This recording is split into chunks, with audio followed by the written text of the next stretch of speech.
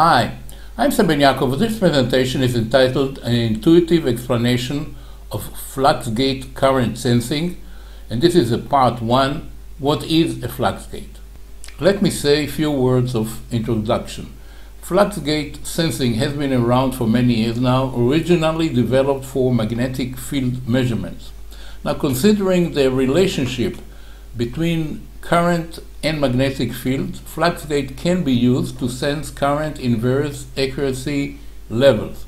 In this presentation, the fundamentals of the flux gate technology is explained and demonstrated by describing some basic flux gate current sensing embodiment. This first part is just about the introduction, what is a flux gate. The second part will deal with measuring current with a flux gate, just circuitry involved to get current measurements. Let me go over some basic relationship here of nonlinear magnetics. If we have a ferromagnetic material which is nonlinear in the sense that it is getting into saturation, a typical BH curve will look like this. We have a region here which is sort of linear and then it goes into saturation. Now the derivative or the local derivative is the permeability, the local permeability, and this is the dB to dH at any given point. Now, phi, the flux, is equal, of course, to the area times the magnetic flux density. We have also the voltage is N phi dt. Also, we have voltage L, which is the inductance of say a body like this, the IDT. Again, we have here, because of the nonlinearity, different definition of inductance. I'm not going into it. There are some videos in my YouTube channels which are discussing this. Just saying that there are some different definition of inductance. And then we have the total inductance is N phi over I. Now, total mu, of course, is the permeability in air or vacuum times the relative permeability, which again could be total or derivative. And finally, say the expression for the, in this case, the local inductance is n squared A. A is the cross-section area of the core, mu 0 and mu d, which is the local permeability, and the magnetic path length, shown here. A very convenient way to deal with nonlinear inductors in simulation is by the feature that LTspice has, in which you can define the flux of an inductor in any expression that you wish. Very convenient is to use the Tangens hyperbolic expression because it is resembling the typical BH curve of ferromagnetic material. And I'm showing here just a test circuit to show how is this equation or this expression behaving, okay? So what I'm having here is just this function itself. This is the function. And I'm running a, a parameter. This is the current. So it's the function is a function of this current. Like here x is actually the current through the inductor.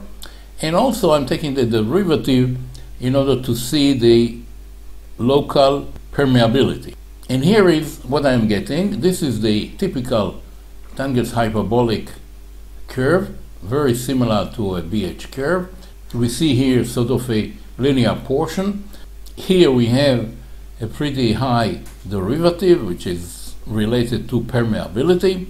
And then as it goes into saturation, the permeability or the derivative goes practically close to zero. In practical course, this may not be exactly straight line, it might be some slope to it, but this is a very nice approximation in any case. So now let's have a look at a situation which is now approaching this issue of flux gate, in which I have a nonlinear inductor here the inductor, defined as 600 micro, should be Weber, and then this uh, function Tangens hyperbolic, x is the current through the inductor. And here I have an excitation, which is a square wave. It's a square wave source generator with fairly high amplitude of a voltage. It's 100 volt. And I've chosen here a 25 kilohertz frequency. This is just an example, of course, just to emphasize the effects that we are interested here to see. And also I have a series resistor.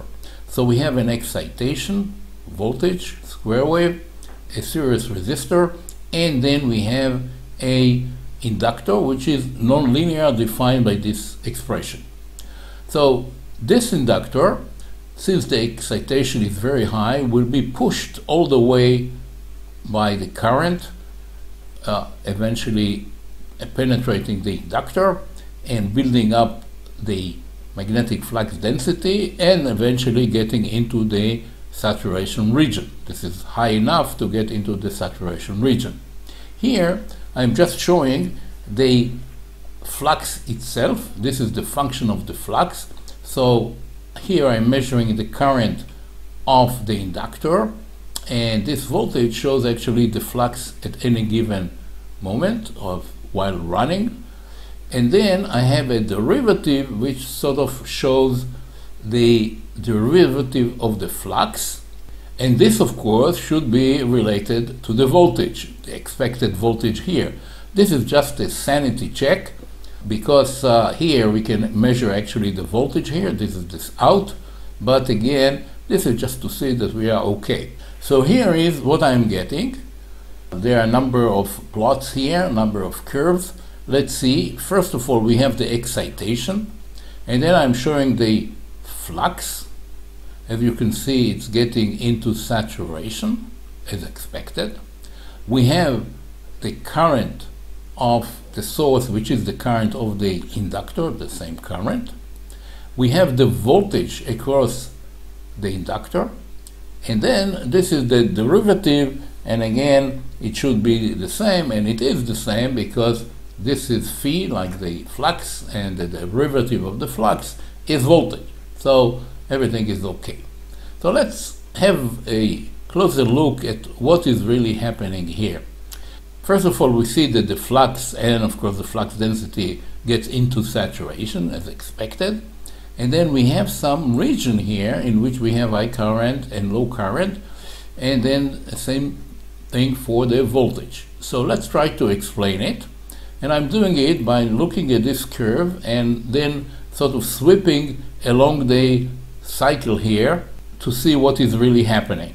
So let's start with this point here, which correspond to this point and this. And here we are at the minimum point here, and there is a voltage here, so therefore we are starting to move up on this curve, move on the curve, actually B is moving up because of the voltage, and uh, of course H is going up. So this is this part here. And here we are going up through the zero. So this will be the zero point here. We've reached this zero point. This is zero flux, zero B, zero H. At this point, the inductor acts as an inductor the current looks like zero, but it is not zero. It is very small as compared to this current, which we'll see later on, is during saturation. So just zooming in here, you see that this is not zero, definitely not zero.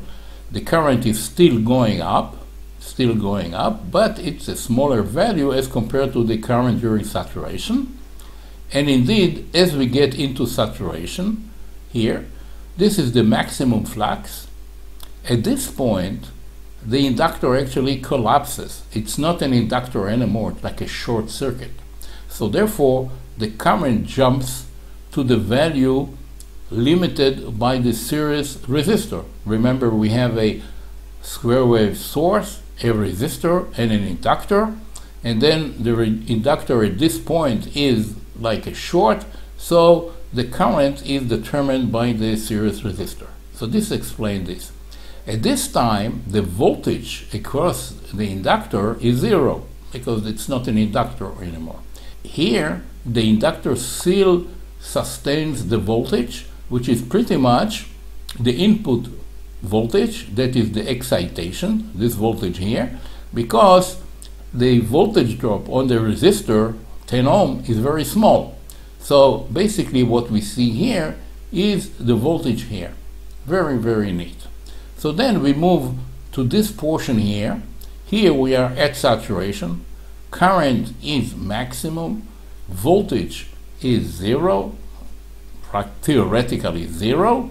And then of course we go back to the other end. So now I'm going to consider a case which again is related to the flux gate technology in which I am injecting an extra current, sort of a bias current. In this case, it's DC.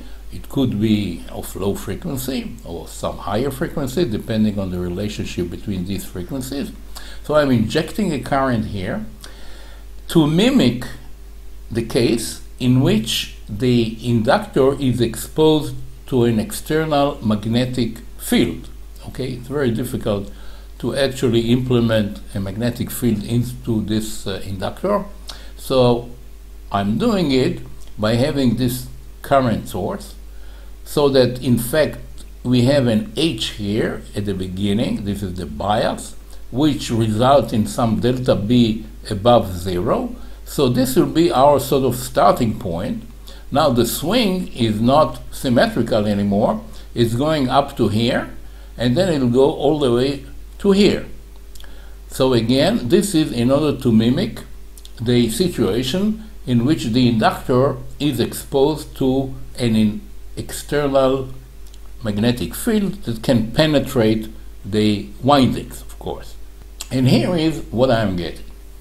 So this is the excitation. This is the magnetic flux. You see it's going up and down, but you see it's non-symmetrical. The reason that it's not symmetrical is because we are starting with some bias point, so the distance to saturation in one side and the other side is not the same. So it takes different times. We can see it here. Take different times, and therefore uh, we have here a longer time and here a shorter time. These slopes are also, by the way, not equal. It doesn't seem like that, but they are not equal. You can see this is sharper than this one. Now the voltage looks also chopped here. We see here a short duration and a longer duration. We explained what is the reason for the voltage. The voltage is during the time that the inductor is still behaving as an inductor. Now it is a short time now. This one is a short time as compared to this time. So therefore this part here is shorter than this. This is of course uh, like uh, this. So we see that there is a major difference in the waveform. Okay, so clearly a external magnetic flux that will penetrate the inductor changes the situation and the waveforms here. So that if we have a way to measure this change, then we can actually estimate or actually get a measure of the disturbance of the outside magnetic flux that penetrated the inductor. So let me just again compare the two. The case of no injection symmetrical. This is the flux is symmetrical, the current is symmetrical, and the voltage is symmetrical. And with injection, we see here non-symmetrical case, the flux. This is then the current also is not symmetrical. And also the output voltage is not symmetrical. So how can we measure this deviation between the non-injection and injection case as a measure for the external field? There are many ways to do that, and I'm just mentioning here two. One is to look at the duty cycle. We have seen that this duty cycle is changing. So if I compare it to the no injection case, you see that this is symmetrical, this is not. So actually by measuring this duty cycle, we can tell as to whether we do have a injection which has moved the operating point to another point. But there is a better way, in fact, a very clever and very sensitive way, and that is to use the second harmonics. Now, what is the second harmonic? Second harmonic appears when a repetitive signal is not symmetrical, like we have it here. It's moving from symmetrical to non-symmetrical. A simple way to extract the second harmonic is to multiply the signal by the second harmonic waveform.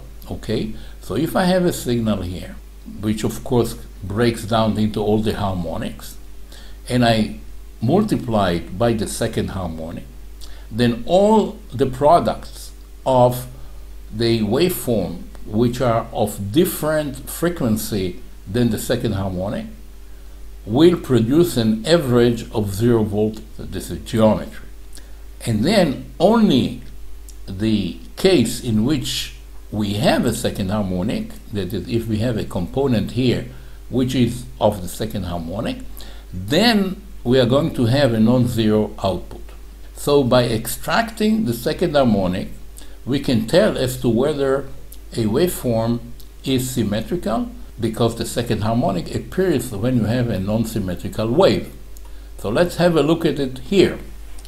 You see that in the symmetrical case, this is, I'm looking at the current now, I'm multiplying it by the second harmonics, and you see that here is zero, here there is some value, but this value is positive because this is negative, the current, and the second harmonic is negative. So we have a product which is plus. And then here we have a current which is positive and the second harmonic is negative, so therefore we have a negative value here. And therefore, and since this is symmetrical, the average of this thing is zero.